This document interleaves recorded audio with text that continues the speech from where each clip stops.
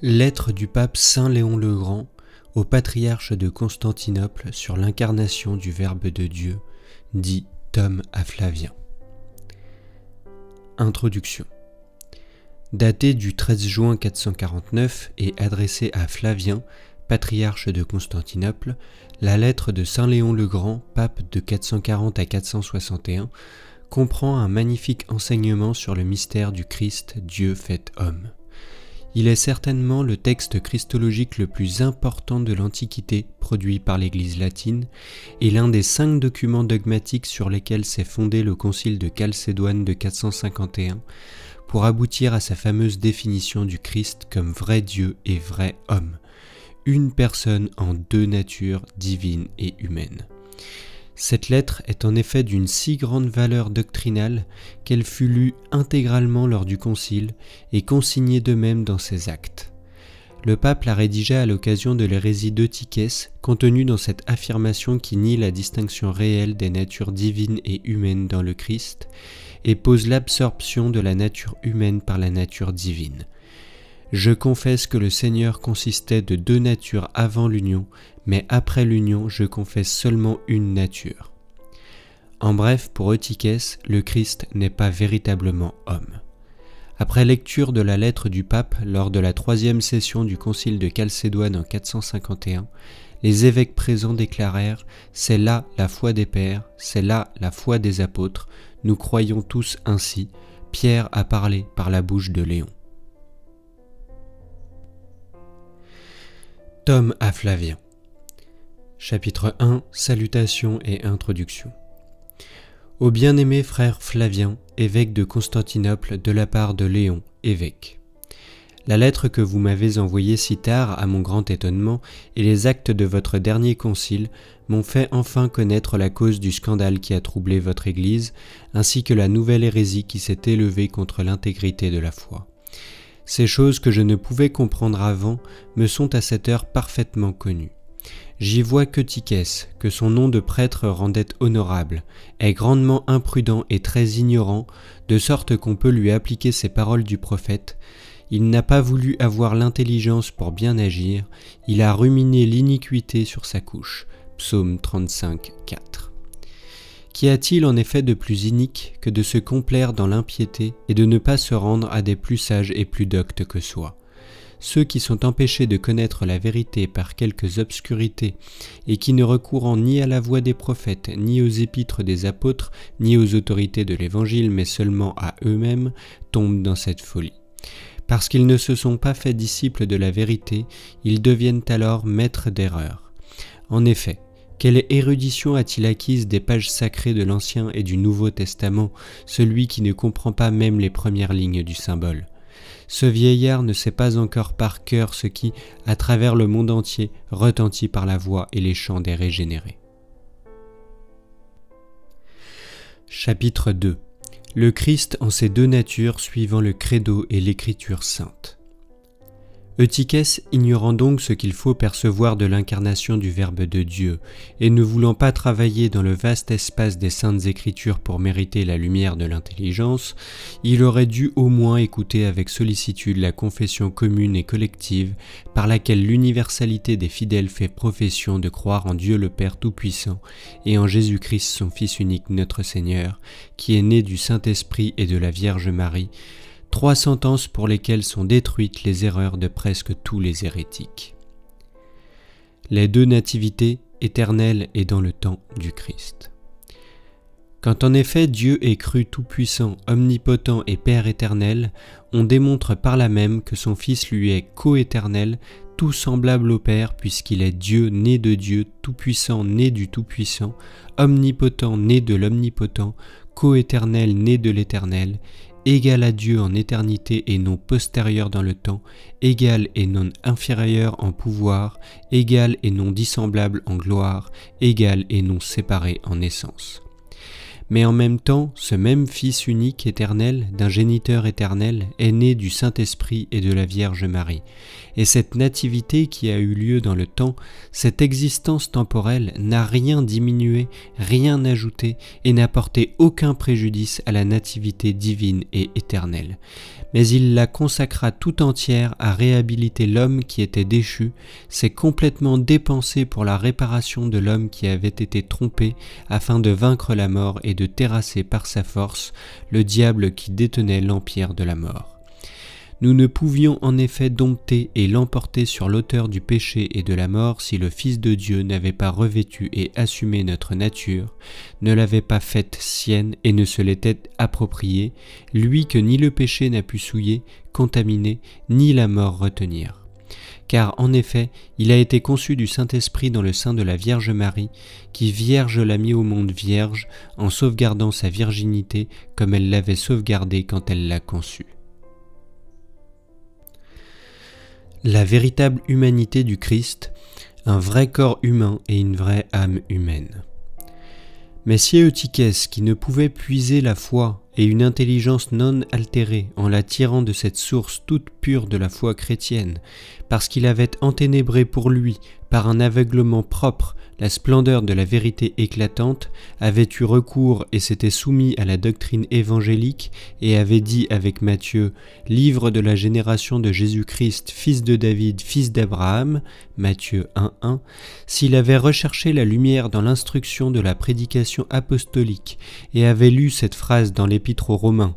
Paul, serviteur du Christ Jésus, apôtre en vertu d'un appel mis à part pour annoncer l'évangile de Dieu que d'avance il avait promis par ses prophètes dans les saintes écritures concernant son fils issu de la lignée de David selon la chair, Romains 1, 1 à 3,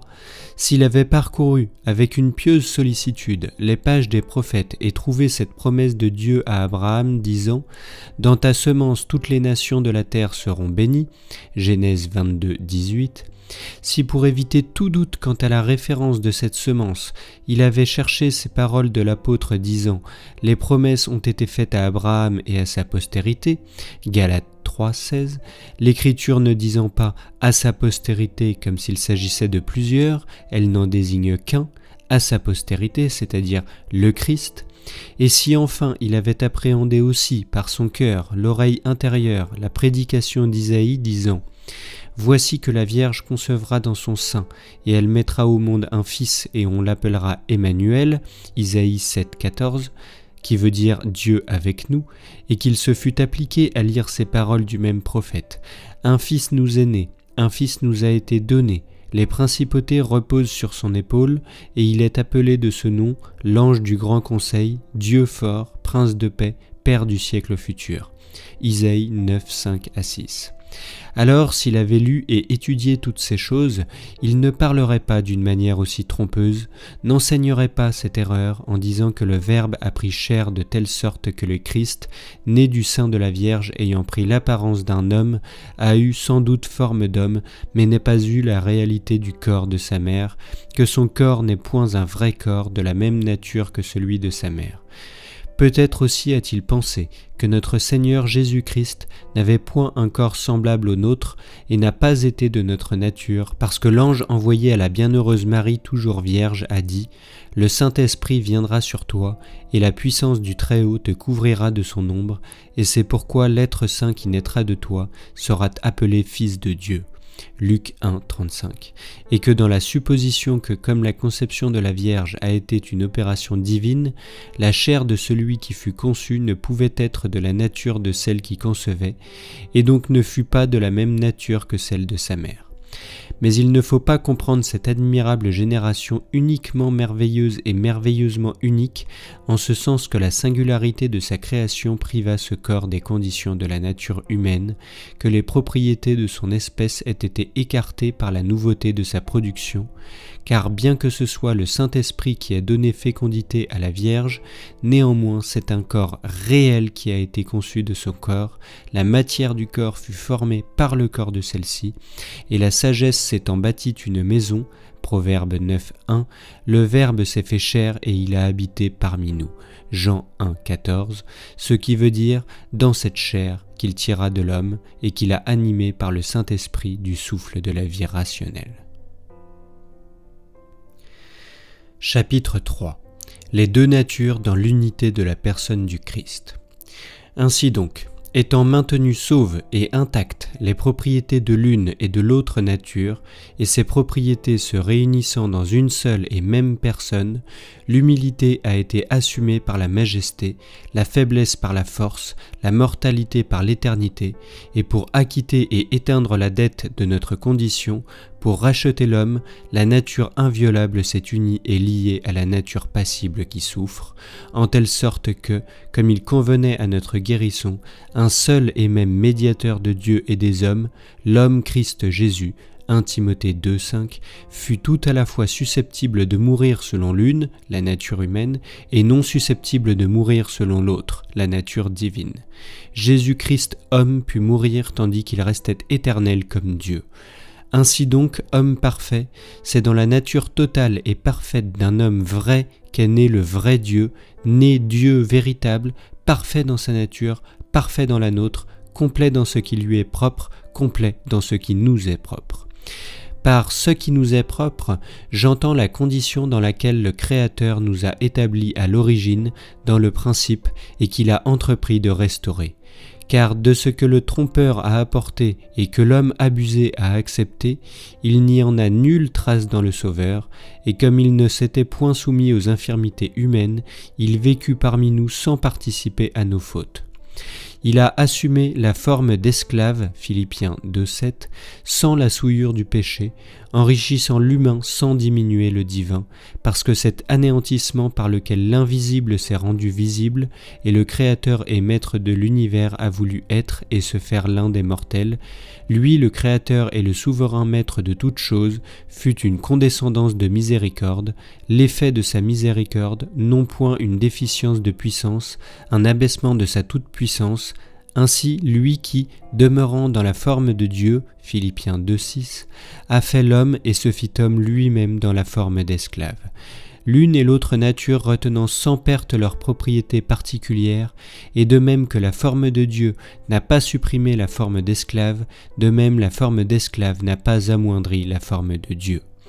Comme le diable se glorifiait d'avoir trompé l'homme par sa ruse, de l'avoir privé des bienfaits de la divinité, dépouillé de son immortalité et soumis à la mort, comme il se glorifiait d'avoir trouvé dans son malheur une consolation sœur de son péché, et d'avoir ainsi changé à l'aide de la propre sentence de Dieu, par la raison de sa justice, la condition de l'homme qu'il avait rendue si glorieuse, le Seigneur, Dieu immuable dont la bienveillance ne saurait être enchaînée, sut dans sa sagesse impénétrable mettre le comble à ses bontés pour nous par ce mystère sacré et empêcher que l'homme, ayant commis la faute par la ruse du diable inique et tombé dans le péché, ne périt à l'encontre des décrets de la divinité.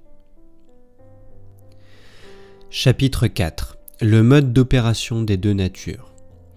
Ainsi, le Fils de Dieu entre dans ce monde infirme et corrompu, il descend du trône céleste avec toute la gloire de son Père, et il naît par un nouvel ordre des choses, par une nouvelle nativité.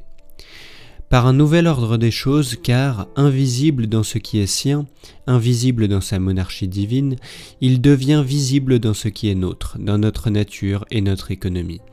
Insaisissable, il a voulu être saisi, infini, il a voulu être fini, existant avant le temps et plus ancien que le temps, il a voulu commencer d'être dans le temps et s'est soumis au temps. Maître de l'univers, il couvre d'un voile l'immensité de sa toute-puissante majesté et prend la forme d'esclave. Dieu impassible, il n'a pas dédaigné de devenir un homme passible, sujet à la souffrance, et immortel de se soumettre aux lois de la mort. Il vient au monde engendré par une nouvelle nativité, car c'est une vierge pure, inviolée et non souillée par la concupiscence, qui fournit la matière de sa chair et donne le jour à son corps. De sa mère, le Seigneur a assumé la nature humaine, non la faute. D'autre part, il prend ce corps impeccable en notre Seigneur Jésus-Christ. Et ce corps né du sein d'une vierge, de ce que sa naissance est miraculeuse, il n'en résulte pas que sa nature soit différente de la nôtre. Car celui qui est vrai Dieu est le même vrai homme. Dans cette unité, cette alliance, il n'y a aucun mensonge, puisque se rencontrent toutes deux ici l'humilité de l'homme et l'élévation de la déité. L'humilité de l'homme et la puissance de Dieu sont réunies. De même en effet, Dieu n'est pas changé, pas altéré par son œuvre de miséricorde, de même l'homme n'est pas consumé par la dignité de Dieu, elle laisse son humanité intacte. Chaque nature accomplit ce qui lui est propre en communion avec l'autre nature. Chaque nature agit avec la participation de l'autre, en ce sens que le Verbe opère ce qui est du Verbe et la chair met à exécution ce qui est de la chair. L'une brille par des miracles, l'autre succombe sous les injures. Et de même que le Verbe ne cesse d'être en égalité de gloire avec le Père et partage toujours la gloire de Dieu, de même la chair ne renonce pas à la nature de notre race avec ses faiblesses. Car c'est le même, comme il faut le répéter souvent, qui est vrai Fils de Dieu et vrai Fils de l'homme. Dieu, car au commencement était le Verbe, et le Verbe était avec Dieu, et le Verbe était Dieu. Jean 1, 1. Homme, car le Verbe s'est fait chair et il a habité en nous. Jean 1, 14. Dieu, car toutes choses ont été faites par lui, et rien de ce qui a été fait n'a été fait sans lui. Jean 1, 3. Homme, car il est né d'une femme et soumis à la loi. La naissance de sa chair prouve sa nature humaine, et sa conception dans le sein d'une vierge l'indice d'une puissance et de sa nature divine. Son humble berceau montre qu'il n'était qu'un petit enfant, et les chants des anges révèlent sa grandeur toute puissante. Il est comme les hommes enveloppé dans des langes, lui dont l'impie Hérode conspire la mort. Mais il est le souverain maître de tous les mortels, lui devant qui les mages viennent se prosterner avec joie. Quand il vient recevoir le baptême de Jean, son précurseur, on put s'assurer de la réalité de sa nature divine par ces mots que Dieu le Père fit retentir du haut des cieux. Celui-ci est mon Fils bien-aimé, en qui j'ai mis toute mon affection. Matthieu 3, 17. Homme, il est tenté par le démon. Dieu, il est servi par les anges. Enfin, il donne une preuve évidente de son humanité en étant soumis à la faim, à la soif, à la fatigue et au sommeil, et une non moins frappante de sa divinité lorsqu'il rassasie cinq mille hommes avec cinq pains, qu'il donne l'eau vive à la Samaritaine et la désaltère de telle sorte qu'elle n'ait jamais soif, qu'il marche sur la mer sans se mouiller les pieds, et que sur une simple invective il apaise les fureurs de la tempête. Tout cela, sans ambiguïté, est divin. Pour m'arrêter à ces derniers exemples, ce n'est pas la même nature qui pleure sur la mort de son ami Lazare, le fait sortir du sépulcre et le ressuscite quatre jours après, qui se laisse attacher à la croix et change le jour en ténèbres et bouleverse les éléments, qui fixé par des clous ouvre les portes du ciel au bon larron. Ce n'est pas la même nature qui dit Moi et mon Père nous sommes qu'un, Jean 10, 30, et ensuite Mon Père est plus grand que moi, Jean 14, 28. Car bien que dans notre Seigneur Jésus-Christ, Dieu et l'homme ne fassent qu'une seule et même personne,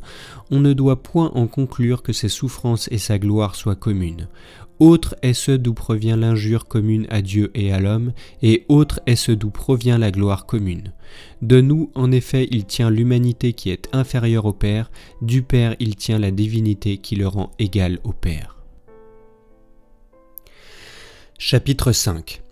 la communication des propriétés, idiome, et le salut par le Christ. En raison donc de cette unité de personnes qu'il faut reconnaître dans deux natures, nous lisons tout à la fois que le Fils de l'homme est descendu du ciel quand le Fils de Dieu a assumé une chair tirée de la Vierge de laquelle il est né, et à l'inverse que le Fils de Dieu est dit crucifié et enseveli, bien qu'il ait subi ces choses non dans la divinité même par laquelle le Fils unique est coéternel et consubstantiel au Père, mais dans la faiblesse de la nature humaine d'où il vient que nous confessons et professons tous dans le symbole du credo que le Fils unique de Dieu a été crucifié et enseveli selon ce mot de l'apôtre, car s'ils avaient su, ils n'auraient jamais crucifié le Seigneur de gloire. 1 Corinthiens 2, 8. Quand notre Seigneur et Sauveur a voulu instruire ses disciples par ses interrogations, au dire des gens, demande-t-il, qui est le Fils de l'homme? Matthieu 16, 13. Et après que les disciples lui avaient dévoilé les diverses opinions des autres, il demande Mais pour vous, qui suis-je? Matthieu 16, 15. Moi qui suis assurément fils d'homme et que vous voyez dans la forme d'esclave et dans la vérité de la chair, qui dites-vous que je suis? Alors le bienheureux Pierre, inspiré par Dieu le Très-Haut, rendit ce témoignage qui devait servir à toutes les nations. Tu es le Christ, Fils du Dieu vivant. Matthieu 16, 16. Et c'est à bon droit qu'il a été déclaré bienheureux par le Seigneur et qu'il a tiré de la pierre elle-même la solidité et de son nom et de son pouvoir, lui qui, par une révélation du Père, a confessé le même et comme Fils de Dieu et comme Christ, parce que l'un de ces deux pris à part de l'autre n'était pas de secours au salut, il n'aurait rien servi à notre salut de recevoir parmi nous l'un sans l'autre, et qu'il était aussi malheureux et d'égal péril de croire que notre Seigneur Jésus-Christ était ou Dieu seulement sans l'homme, ou l'homme seulement sans Dieu. Mais après sa résurrection, qui fut assurément celle de son vrai corps, de sa véritable nature humaine, car le corps ressuscité n'était autre que celui qui avait été crucifié, qui était mort et qui avait été enseveli, pourquoi le Seigneur resta-t-il quarante jours sur la terre, sinon pour débarrasser l'intégrité de notre foi et la purifier de toutes ténèbres et d'incertitude en effet, il s'entretenait avec ses disciples, il habitait et mangeait avec eux, il permettait à leur avide curiosité de le palper de leurs propres mains, eux que le doute tourmentait. C'est pourquoi les portes étant closes, il entrait chez ses disciples, et par un souffle il leur donnait l'Esprit Saint, et en leur faisant don du feu et de la lumière de l'intelligence, il leur découvrait le sens mystérieux des saintes Écritures. Il leur montrait aussi la blessure de son côté, les marques des clous et tous les signes de sa passion très récente en disant Voyez mes mains et mes pieds, c'est bien moi, touchez-moi et voyez, car un esprit n'a ni chair ni os comme vous voyez que j'ai. Luc 24, 39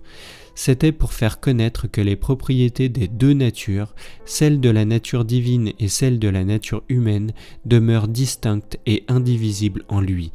que le Verbe n'est pas la chair, de sorte que nous puissions confesser l'unique Fils de Dieu, union du Verbe et de la chair, Verbe et chair à la fois. On doit l'estimer trop vide du sacrement de la foi et trop éloigné de nos croyances cette Eutychès qui n'a pas reconnu notre nature dans le Fils unique de Dieu, ni à l'humilité de la mort, ni à la gloire de la résurrection. Il n'a pas non plus redouté cette sentence du bienheureux apôtre et évangéliste Jean,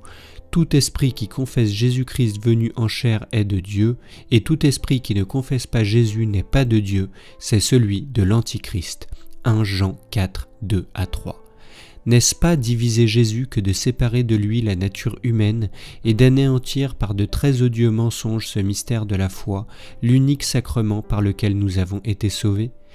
Puisqu'il est dans l'erreur et dans l'obscurité quant à la nature du corps du Christ, il est nécessairement aussi, de par la même cécité, en délire quant à sa passion. Car s'il ne pense pas que la croix de notre Seigneur soit un mensonge, et qu'il ne doute pas de la vérité du supplice qu'il a souffert et accueilli pour le salut du monde, il doit aussi reconnaître la vérité de la chair de celui dont il croit la mort. Il ne peut non plus douter et disconvenir qu'il n'ait un corps d'homme comme le nôtre s'il admet qu'il a souffert et fut passible car en niant la vérité de la chair est aussi nier la passion corporelle. S'il accueille la foi chrétienne, si celle-ci est dans son cœur, et s'il ne ferme pas son oreille à la prédication et aux enseignements de l'Évangile, qu'il voit quelle nature fut attachée avec des clous au bois de la croix, et qu'il comprenne d'où coulèrent, après que le soldat eut percé le côté du crucifié sauveur d'un coup de lance, l'eau et le sang qui ont arrosé l'Église du Christ par le bain du baptême et le breuvage de l'Eucharistie qu'il écoute le bienheureux apôtre Pierre prêchant que la sanctification de l'Esprit se fait par l'aspersion du sang du Christ, qu'il lise avec attention ces paroles du même apôtre, sachant que ce n'est pas par des choses périssables, par de l'argent ou de l'or que vous avez été rachetés de la vaine manière de vivre que vous aviez hérité de vos pères, mais par le sang précieux du Christ comme d'un agneau sans défaut et sans tache. 1 Pierre 1, 18 à 19 de même qu'il ne résiste pas au témoignage du bienheureux apôtre Jean qui dit Le sang de Jésus, son Fils, nous purifie de tout péché. 1 Jean 1, 7. Et encore, la victoire qui a vaincu le monde, c'est notre foi. Qui est celui qui a triomphé du monde, sinon celui qui croit que Jésus est le Fils de Dieu? C'est lui, Jésus-Christ, qui est venu par l'eau et le sang, non avec l'eau seulement, mais avec l'eau et le sang, et c'est l'Esprit qui en rend témoignage, parce que l'Esprit est vérité. Car il y en a trois qui rendent témoignage, l'Esprit, l'eau et le sang, et ces trois sont un. 1 Jean 5, 4 à 8 l'esprit de sanctification, le sang de la rédemption et l'eau du baptême, qui tous trois sont un et unanimes pour attester la même chose, demeurent distincts, rien ne les disjoint de leur connexion, ils ne diffèrent point d'une syllabe de ce qu'ils prouvent. Car l'Église catholique vit et prospère par cette foi que, dans notre Seigneur Jésus-Christ, l'humanité ne va pas sans la vraie divinité et que la divinité ne va pas sans une vraie humanité. Chapitre 6 Conclusion sur l'erreur d'Eutychès. Aussi, quand Eutychès vous répondit dans son interrogatoire, Je confesse qu'il y avait deux natures en notre Seigneur Jésus-Christ avant l'union de son incarnation, mais je confesse qu'il n'en restait qu'une seule après l'union, je m'étonne qu'une profession de foi aussi perverse et aussi absurde n'ait pas été réprimée par une menace des juges et n'ait point fait crier anathème.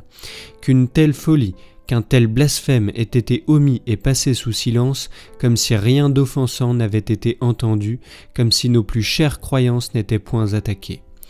Car il est aussi impie de dire qu'il y avait dans le Fils unique de Dieu avant l'incarnation deux natures, qu'il est malicieux d'affirmer qu'il n'y en avait qu'une seule après que le Verbe se fût fait chair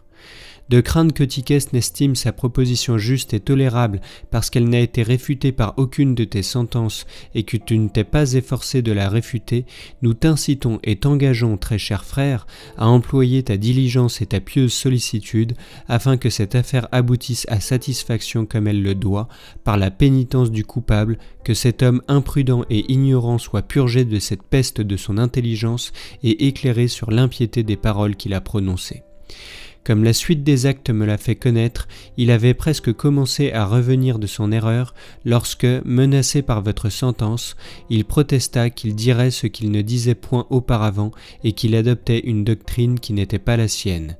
Mais comme il refusa de prononcer l'anathème contre son dogme impie, vous avez compris avec raison qu'il persistait dans son crime et qu'il était convenable de formuler la sentence de sa condamnation.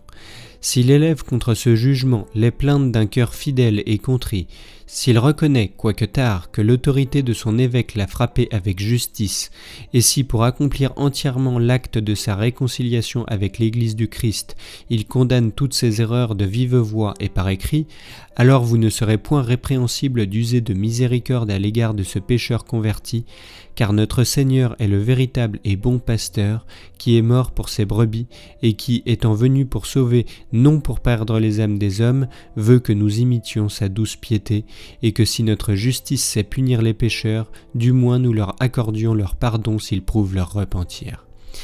Mais enfin, pour défendre la vraie foi d'une manière efficace, il faut toujours condamner les hérésies dans la personne de ceux qui les professent. Pour suivre cette cause avec piété et fidélité, je vous envoie nos frères Julien, évêque, et René, prêtre du titre de Saint Clément, et mon fils le diacre Hilaire. Je leur ai adjoint notre notoire Dulcitius, dont la foi m'a été souvent prouvée. Nous espérons qu'avec l'aide de la grâce de Dieu, celui qui est tombé dans l'erreur sera sauvé après avoir condamné son erreur. Que Dieu vous garde, très chers frères, fait aux ides de juin sous le consulat des très illustres Astère et Protogènes en l'an 456.